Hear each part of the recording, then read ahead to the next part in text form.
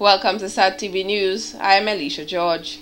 In our top stories, PRO of Fire Department says recruitment process too lengthy. Wreck found of Haiti thought to be Columbus's 500-year-old flagship. Hopes of survival dashed as body count rises in Turkey mine explosion. And in sports, Sports Division commences training for Windward Islands school games. Details of these will follow. Change is here at SAT. New and exciting rewards just for you. SAT customers simply pay your bill and get the new Loyalty Plus plan for free. That's 26 channels absolutely free for a limited period. Yes, you heard me, free. And if you do pay your bill, you'll have a chance to win big with SAT TV. Up to $15,000 in prizes are up for grabs. 7-inch tablets, BlackBerry smartphones, food vouchers, and much, much more. Offer ends July 1st. Get more from SAT TV, the people's choice. SAT terms and conditions apply. Welcome back. For a number of years, the fire and ambulance services has been operating with inadequate staff. However, their concern about this issue may take some time before it can be addressed. In an exclusive interview with SAT-TV, Wayne Leta, Public Relations Officer of the Fire and Ambulance Services, says this may be due to the lengthy recruitment process.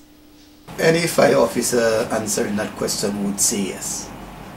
Would say yes. But it's a process that exists and it's according to protocols and we are operating under the Public Service Act and the process has to follow the Public Service Act. But yes, you would get the sentiment from most fire officers that yes, we need persons and we are not getting persons as often as we would require. But um, from an administrative point of view, no, the authorities may tell you, well, the process has to go according to how the regulation states. So it's not a matter of you want persons and you get persons, but it has to go through the process. We would like to see it really kick off fast. He noted there is currently a recruitment drive and they recently interviewed 80 individuals over a two-day process for selecting names to be reviewed. He explained this involves doing background checks by the police force special branch to then draft a final list which then has to be submitted to cabinet for approval. If we are talking about the the structure, the fire department structure, we, so we are talking about maybe the need for basic would be in excess of 150 persons. Now when we look at our establishment presently we are, we are just at 117. And we are talking also, we have been talking in the past years and these are developments that the fire department is talking on and how we can improve. Over the past years we have been talking about the Melville Hall issue and the Melville Hall issue we are talking about it's have aerodrome firefighting and domestic firefighting done separately. So when you put all those things there together, we are talking about the fire department need and like I, I, like we keep saying and I said it to the media, if we have to look, look at it theoretically and practically, we are talking maybe additional seven, 70 or so persons, 70 to 75 persons if you are to go according to that plan. We would like to see at least 25 new recruits immediately, which would be a promising sign, seeing there are vacancies to fill right now, and the numbers are not what is expected, later stated. Plans are being developed for upgrading of both the La Plaine and Castle Bruce fire stations, which are currently only operated as ambulance stations, he added. He pointed out that there are also administrative issues that need to be dealt with, but without the adequate personnel, it cannot be done. 2010 and 11 together we had just about 30 fire officers and these are to fill in vacancies. Presently we still have vacancies and the vacancies exist as of new positions created and also that of persons who retired from the department and so on. So we still have some of those vacancies to, to be filled. The fire officer noted even with the large number of recent interviews, this is in no way a guarantee that new personnel will be added to the fire service this year but they will remain optimistic. Prime Minister and Minister for Finance, Foreign Affairs and Information Communication Telecommunications, the Honorable Roosevelt Skerrit, is heading a three-member delegation to the People's Republic of China. The delegation left the island on Tuesday, May 13, 2014, to engage in advanced discussions on the construction of an international airport and other development projects for Dominica. The Prime Minister on Monday, May 5th, announced that his government was actively pursuing several projects, including the construction of an international airport with a BOOT, build, own, operate, and transfer option with a team of private developers from China. Mr. Skerrit is accompanied by Secretary to the Cabinet Ambassador Steve Ferrol and Chairman of the Aid Bank Martin Charles.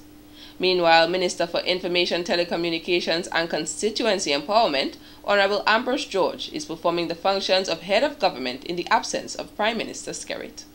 The Arawak House of Culture on Tuesday, May 13th, was filled with invited guests and performers as the Dominica Institute for the Arts, DIFA, hosted its end-of-year closing ceremony. The event was organized in collaboration with the Division of Culture and the Ministry of Culture, Youth and Sports.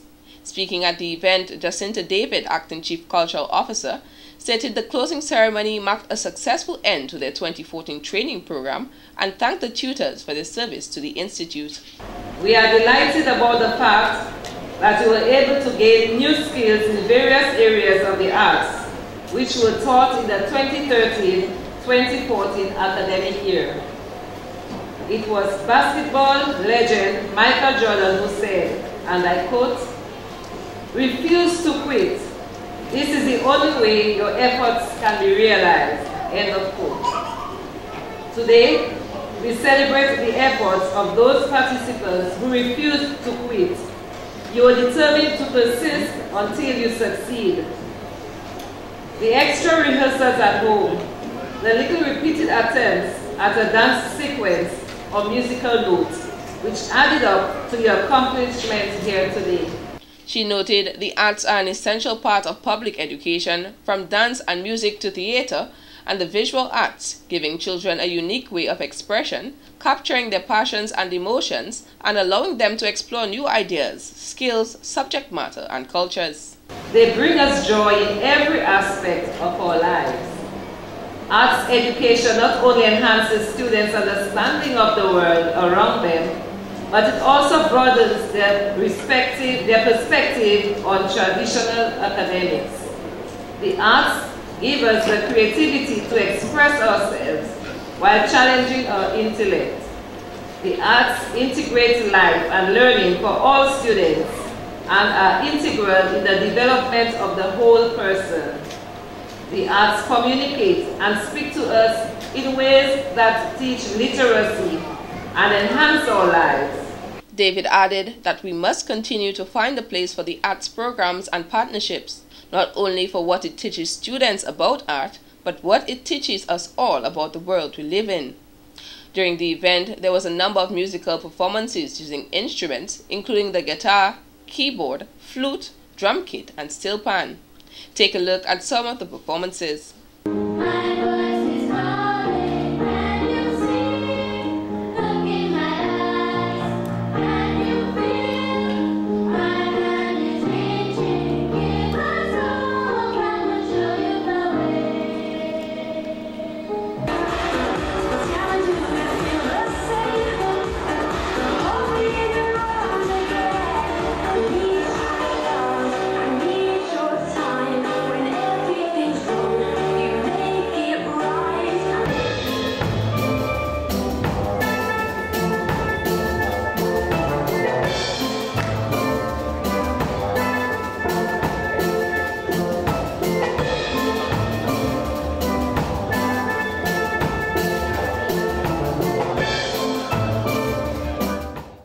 Following the performances, the participants of the program all received their certificate of completion presented to them by the Honorable Minister for Culture, Youth and Sport, Justina Charles. When we return, more stories. The wheel of change is here at SAT. New and exciting rewards just for you. Customers simply pay your bill and get the new Loyalty Plus plan for free. That's 26 channels absolutely free for a limited period. Yes, you heard me, free. And if you do pay your bill, you'll have a chance to win big with SAT TV. Up to $15,000 in prizes are up for grabs. 7-inch tablets, BlackBerry smartphones, food vouchers, and much, much more. Offer ends July 1st. Get more from SAT TV, the people's choice. SAT terms and conditions apply. Welcome back. The parents of students attending the Sineku Primary School have displayed the true meaning of unity, deciding to keep their children at home after they assembled for an emergency Parent Teachers Association meeting on Tuesday, May 13, 2014. The decision was taken following a series of burglaries and acts of vandalism at the school, which some say has been ongoing for a lengthy period of time. A source well versed on the issue chose to remain anonymous, but stated enough is enough and action had to be taken as they felt their concerns were falling on deaf ears. The louvers in each of the classrooms have been tampered with, while the louvers in grade 3 were actually removed from the classroom, the source stated. According to the individual, a letter was previously written to the Chief Education Officer, Melena Fontaine, about the reoccurring matter, which to date has not been resolved. We also have electrical problems, plumbing issues, in addition to toilets that are non-functional. Washrooms for teachers are unsanitary and drinking water is unhygienic, they revealed. There are security concerns at the school as the two security guards only work five days a week and based on the frequency of incidents at the school, security is needed seven days a week. Parents will continue to keep their children away from school until the Ministry of Education visits the school and resolves all of the issues affecting them. Efforts to contact the Chief Education Officer proved futile. SAT TV will provide an update on this matter as soon as more information becomes available. Mothers from the city of Roseau and environs were made to feel special on Sunday, May 11th when the Roseau Improvement Committee, RIC Inc., held its Mother's Day launch at the Harlem Plaza in Newtown. Now in its 26th year of service to the Roseau community, RIC has organized this Mother's Day lunch every year for over 20 years. The day began with prayer and thanksgiving for the mothers, followed by welcome remarks by City Councilor and Senator Danny Lugay. The theme of this year's event was Loving Your Mother, which was attended by over 200 mothers. It was held under the patronage of Member of Parliament Norris Prevost, the founding patron and co-patrons Roseau City Councillor Danny Lugay, Roseau businessman Joseph Isaac, and attorney at law Joshua Francis. Leader of the United Workers' Party Lennox Linton was also present at the event, interacting with the mothers. The mothers truly felt special as they were treated to a three-course meal, inclusive of appetizer, entree, and dessert, while listening to steel pan music. The lunch was supported by over 15 businesses, including four financial institutions. The board of RIC Inc. expressed gratitude to volunteers, including the musicians and many sponsors, for their valuable support, which went a long way in making this year's RIC Mother's Day lunch the great success that it was. And in court news, 12 matters of a sexual nature will make the cause list in the May Criminal Assizes, which opened at the High Court in Roseau on Wednesday, May 14, 2014, just two weeks after the close of the January criminal assizes. Five of these matters were traversed from the January criminal assizes and will be given priority for hearing. During today's arraignment, one man pleaded guilty to having unlawful sexual connection and indecently assaulting a nine-year-old boy in a northern community between November 30th, 2012 and May 7th, 2013. A charge of burglary was also read to him, for which he pleaded not guilty, and that charge was withdrawn by the Director of Prosecution, Evelina Baptiste. A psychiatric evaluation and pre-sentence report has been ordered, and the accused will reappear in court on June 2, 2014, to be sentenced. Other sexual matters making up the list include incest, gross indecency, and unlawful sexual connection. Joanne Gage, Edgar Pelty, and Ara Davis who were charged for money laundering are still awaiting a decision by High Court Judge Justice Thomas to determine whether their matter will proceed to trial. Other matters on the cause list include theft, burglary, causing death by reckless driving, causing death by dangerous driving, and wounding with intent.